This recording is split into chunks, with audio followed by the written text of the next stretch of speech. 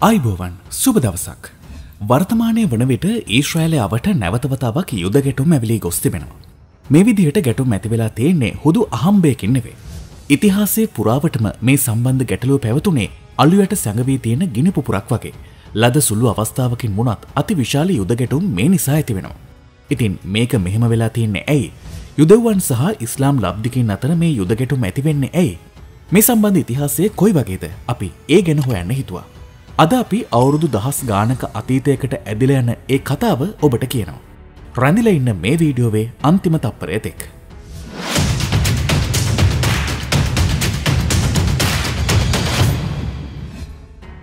මුලින්ම අපි වර්තමාන ඊශ්‍රයිලයේ පිහිටීම අධ්‍යනය කරමු. ඊශ්‍රයිලය පිහිටල තියෙන්නේ මැද පෙරදිග උතුරු දෙසිනුයි. මේක සැලකෙන්නේ ලොව එකම යුදෙව් රාජ්‍ය හැටියටයි.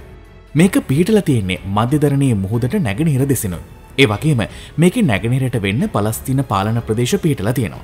පලස්තිනය වැඩිමනක්ම සමන්විත වෙන්නේ යුදෙව් පාලන ප්‍රදේශවලින් පැනආ ඉස්ලාම් ලබ්දිකයින් ගෙනුයි. මොවුන් හා ඊශ්‍රයිල පාලකින් අතර දීර්ඝ කාලයක් තිස්සේ විශාල ගට්ටනයක් තියෙනවා.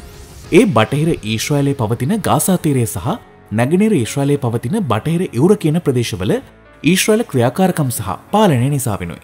මේ ගැටුම ඉතිහාසේ කීප විටක්ම ඉතාම ප්‍රචණ්ඩ තත්වයකට පත් වුණා. වර්තමානය වෙද්දිත් ඒකේ අලුත්ම පරිච්චේදයක් ආරම්භ වෙලා තියෙනවා. මේ ගැන අර්ථකතන දෙන නම් අපි කවුරුත් මේ හා සම්බන්ධ ඉතිහාසය ගැන හොඳින්ම දැනුවත් වෙලායිදීම වුවමනා කරනවා. ඒ කතාව ආරම්භ කරන්න අපිට අවුරුදු දහස් ගණනක් අතීතයට යන්න වෙනවා. ක්‍රිස්තුපූර්ව දා හත්වනි සියවසේදී දෙවියන් වහන්සේගේ මඟ පෙන්වීමට අනුව යුදෙව් පීතෘවරයන් තිදෙනෙක් වෙන ඒබ්‍රහම් අයිසෙක් සහ ජෙකෝබ් වර්තමාන ඊශ්‍රයිල භූමි ප්‍රදේශයට පැමිණිය. ඒකාලේ කැනන් හැටියට මේ ප්‍රදේශය හැඳින් වුණා. මේ කැනාන්වලට වර්තමාන ඊශ්‍රයිලය ගාසාතීරය බටේර ඉවර වගේම සිරියාවෙල් ලෙබනනේ සහ ජෝර්ධානය කොටස් කිහිපයකුත් ඇතුළත් වුණා. මේ ප්‍රදේශයට පසුකාලිනව ඊශ්‍රයිල භූමියන නම භාවිත කරන්න වුණා. එවිතරක් නෙවෙයි මේකට පොරොන්දු දේශය පලස්තින ප්‍රදේශය වගේම ශුද්ධ වූ භූමියන නමුත් කාලෙන් කාලට භාවිත කෙරුණ. ක්‍රිස්තු පූර්ව දාහිදි සෝල් රජු ඊශ්‍රල් රාජධානය බිහි කළ. මේ රාජවංශයට අයිති ඩේවිඩ් රජු මුලින්ම ජේරුසලම තමන්ගේ අගනුවර හැටියට තෝරගත්තා. ඕගේ පුත් සොලමන් රජු ජේරුසලමේ පළමුවනි ආගමික ගොඩනැගිල්ල ඉති කලා. සොලමන් රජුගේ මරණයෙන් පස්සේ මේ රට දෙකට බෙදුනා. උතුරෙන් වුණු භූමිය ඊශ්‍රයිල රාජධානය වුණු අතර ඒකේ අගනුවර වුණේ සමේරියාවයි. දකුණුදිග ප්‍රදේශය හැඳින් වුණේ ජුදා හැටියටයි. මේකේ අගනුවර වුණේ ජේරුසලම. මුලදි මේ භූමියේ බහුතරයක් හිටියේ යුදෙව්වන්. ඒත් කාලයාගේ ඇවෑමෙන් මේ භූමියට ආක්‍රමණ රාශයක් සිද්ධ වුණා. මේ නිසා මේ බිමේ යුදෙව්වන්ගේ ප්‍රමාණය අඩු වෙලා ගියා. මේ වගේ විශාල එක් ආක්‍රමණයක් කළේ රෝමානු අධරාජ්‍ය විසිනුයි. මෝන් ජුදාවට පලස්තිීනයන නම දුන්නේ ඒ භූමියේ යුදෙව් සම්බන්ධතාවය නැතිකර දමනාටයනුයි. මේ කාලේදි මේ භූමිය ඇතිවුණු යුදෙව් අක්මුල් තියෙන ක්‍රස්තියානි දහම රෝමානු අධිරාජ්‍යයේ අවසානයට වගේ වෙන්න ඒ අධිරාජ්‍ය පුරාම පැතිරිලා ගියා. ක්‍රිස්තු වර්ෂ හත්විනි සියවසේදී මේ භූමියට අරාබි ආක්‍රමණයක් සිද්ධ වුණා. ඒ අනුව මේ ප්‍රදේශය සහ තදාසන්න ප්‍රදේශවල ඉස්ලාම් දහම පැතිරලා ගියා. ජේරුසලමේ ඩෝම් of ද රොක් ඉදිකරුණේ ඉපෙරෙන යුද ආගමික ගොඩනැගිල්ලක පාදම මතයි. ඒ අනුව ජේරුසලම ලෝකයේ ප්‍රධාන ආගමික තුනක ශුද්ධ වූ නගරේ බවට පත් වුණා. ඒ ආගම්තුන වෙන්නේ යුදෙව්වාගම ක්‍රිස්තියානාගම සහ ඉස්ලාම් ආගමයි. තුර්කයේ සෙල්ජක් වරුන් විසින් ඊශ්‍රයිලයේ කිතුනුවන් ඝාතනය කිරීමෙන් සහ මධ්‍යම ආස්‍යාවේ මොංගෝලියානු අධිරාජ්‍යයේ ආක්‍රමණවලින් පස්සේ යුරෝපයේ කිතුනුවන් ජේරුසලම නැවතත් තමන් ගැතට ගන්න කිහිප විටක් මුත් සහ කළ මේ උත්සහවලදී යුදෙව්වන් දහස් ගණනක් මිය ගියා. ඉතුරු වුණු යුදෙව්වන් යුරෝපයේ අනෙක් ප්‍රදේශවලට පලාගිහින් ඒ ප්‍රදේශවල පදිංචි වුණා. මින් බහුතරය ගියේ බටහිර යුරෝපයටයි. දහසේවැනි සියවසේ සිට පළවෙනි ලෝක යුද්ධය වෙනකල් මේ ශුද්ධ වූ භූමිය වගේම බටහිර යුරෝපය සහ අප්‍රිකාවේ උතුරුදිග කොටසුත් අයිති වෙලා තිබුණේ ඔටෝමන් අධිරාජ්‍යයටයි. ඉස්ලාම් දහම පැතිරුණු අධිරාජ්‍යයක් වුණු මේ ඔටෝමන් අධිරාජ්‍යයට යටත් වෙලා හිටි සමේ මේ භූමිය නිල නොවන වශයෙන් හැඳින්වුණේ පලස්තිනය හැටියටයි. මේ කාලේ යුරෝපයේ සිටි යුදවන් වැඩිවැඩියෙන් සයිනිසම් කියල ව්‍යාපාරයකට සම්බන්ධ වෙමින් හිටිය.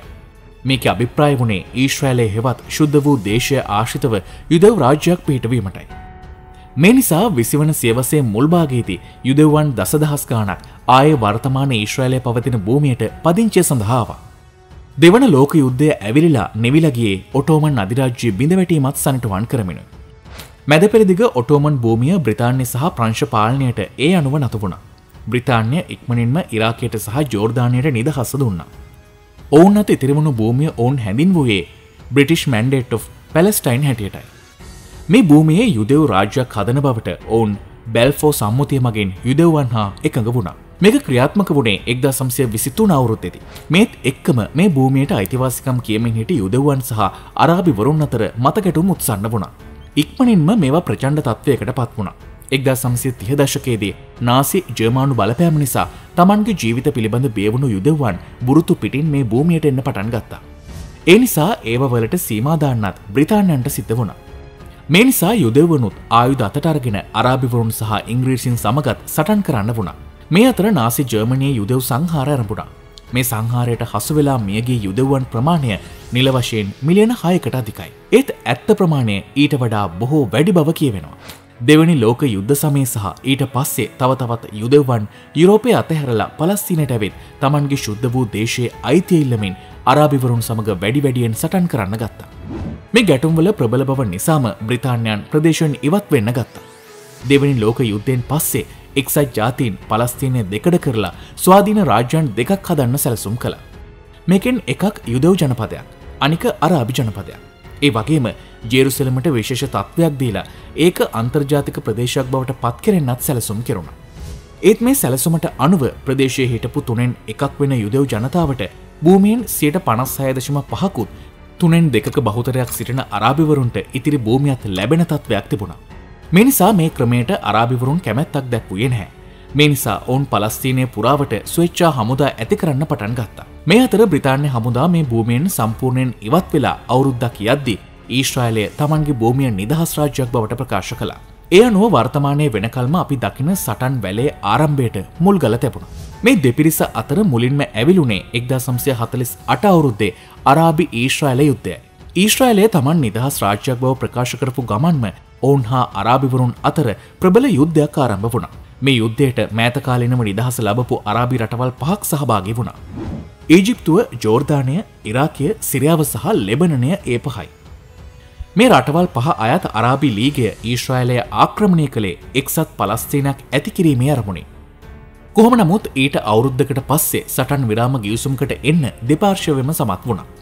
මේ අනුව පලස්තින භූමියෙන් තුනෙන් දෙකක් ඊශ්‍රයිලට හිමිවුණේ ඓතිහාසික ජේරුසලම බටහිර කොටස එක්කයි. පලස්තින භූමී තිබුණු නැගෙනහිර ජේරුසලම සහ පටහිර යුර ජෝර්ධානයට ලැබුණු අතර ගාසාතීරේ පාලනය ඊජිප්තුවට ලැබුණ. මේක ප්‍රතිඵලයක් හැටියට පලස්තින ජාතිකින් හත් ලක්ෂ පනස්දහසකට වැඩි ප්‍රමාණයක් තමන් සියවස් කරනාවක් ජීවත් වුණු භූමියෙන් නෙර පාහැරුණ. ඔවන් මේ දිනේ හඳුන්වන්නේ අල් නැක් බා හැටියටයි. මේක තේරුම වෙසනය වගේ එකක්.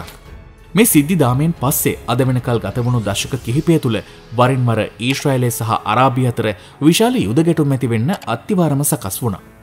මේ අතර විශේෂයෙන්ම කියවෙන මුල්ම මහගැටම වුණේ සයිදින යුද්ධයයි. අපි ඒ ගැන සවිස්තරාත්මකව වීඩියෝ දෙකින් ඔබ දැනුවත් කළා. මෙකින් පස්සේ පලස්තින ජනතාවට ඊශ්‍රයිලට ඇතුළත්වීම තවත් සීමා කිරුණ. සරනාගත භාවයට පත්වුණු ඔවුන්ට ජීවත්වෙන්න පුනේ බටහිර ඉවර ගාසාතීරය සහ අසල්වෙසි රටවල් වන සිරියාව ලෙබනනය සහ ජෝර්ධානයේ. මේ සටනෙන් පස්සේ සයිනයි ප්‍රදේශය ඊශ්‍රයිලට අයත් වුණත් එක්දා සම්සය හැත්ත තුනවුරුද්දේ ඇවිලුණු යෝම් කිපූර් යුද්ධෙන් පස්සේ එක්දා සම්සය හැත්ත නමේදී නැවත ඒ ප්‍රදේශය ඊජිප්තුවට බහර කෙරුණු නිසා ගාසාතීරයේ පලස්තින ජනතාවට යම් අස්වැසිල්ලක් ලැබුණා. මේ අතර ගාසාතීරයේ බටහිර ඉවර සහ තදාසන්න පලස්තින ජනතාව සිට ප්‍රදේශවලට ඇතුල් වන යුදව් ගහනය එන්න එන්න වැඩිවීම නිසා පියල්ලෝ සංවිධානය හෙවත් පලස්තින විමුක්ති සංවිධානය ඇති කරන්න පලස්තිනුවන් ක්‍රියා කළා. මේක මුලින්ම ස්ථාපිත කරුණේ එක්දා සම්සේ හැට හතර වසරේ ඊජිප්තුවේ කයිරෝනුවරයි. මේ සංවිධානයේ ප්‍රධාන අභිප්‍රාය වෙන්නේ ඊශ්‍රයිලය තුළ නිදහස් පලස්තිනයක් ඇතිකිරීමයි. මේ සංවිධානය ජෝර්ධානයේ ඉඳලා ඊශ්‍රයිලයට පහරදුන්. ඒත් ඉන් පස්සේ ඔවුන්ට තමන්ගේ ක්‍රියාකාරකම් ලෙබනනයට ගෙනියන්න වුණා. මෝන් ලෙබනනේ ඉඳලා දිගටම පහරදීම ඊශ්‍රයිලට මහා හිසරදයක් වුණා. ඒ නිසා ඊශ්‍රයිලයට ලෙබනනේ බේරෝට ආක්‍රමණය කරලා පල්ලෝ සංවිධාන මූලස්ථානයට පහර දෙන්න සිද්ධ වුණා. මෙවයින් පස්සේ පල්ලෝ සංවිධානය ඊශ්‍රයිලය තුළ පලස්තින ප්‍රදේශ වෙන් කරගන්න එකඟ වුණා. ඒත් ඒ ප්‍රදේශවලට දිගින් දිගටම යුදවන් ඇතුළ වුණා. මේ වගේ තත්ත්වයක් පවතිද්දි ගාසාතීරයේ ජබාලියාවලදී ඒශ්‍රයිල හමුදා ට්‍රක්්‍රතයක් සිවිල් පලස්තින ජාතිකෙන් රැගත් වෑන් රථ දෙකක් අනතුරට පත්කිරීම නිසා විශාල ගැටලුවක් ඇතිවුණා. ඒ එක්ද සම්සය අසූ හත අවුරුද්දෙදී. මේ අනතුරින් මියගිය පලස්තිනුවන් ගණනා හතරක්. මේ හේතුවේ නැතිවුණු ගැටුම්වලින් දෙපාර්ශවයම සිය ගණනක් මිය කියා. අන්තිමේ ඊශ්‍රයිලය සමඟ පලස්තීනය ඔස්ලෝ ගිවිසුම් අත්සන් කරලා ඒ වතාවේ යුදකෙටුම් සමතයකට පත් කරගත්තා.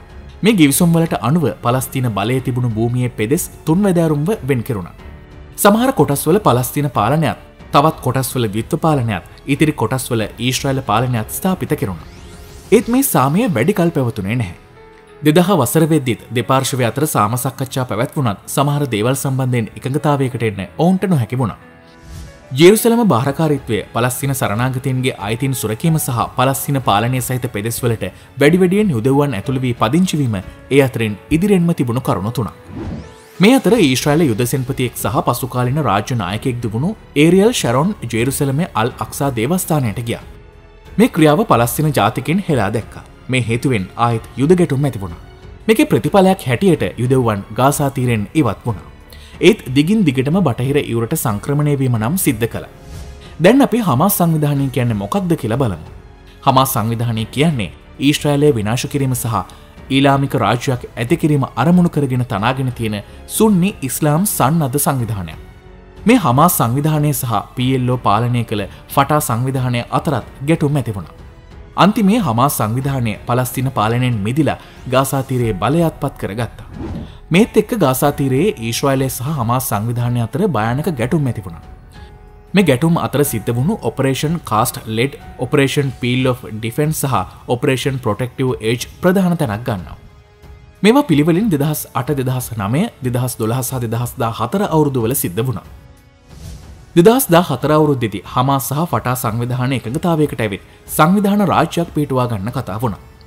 මේ අතර දෙදස් දහ අටවුරුද්දෙති අමරිකාව තමන්ගේ ඊශ්‍රයිල තානාපති කාර්යාලය තෙල් අවව් නුවරින් ජේරුසලමට ගෙනාව.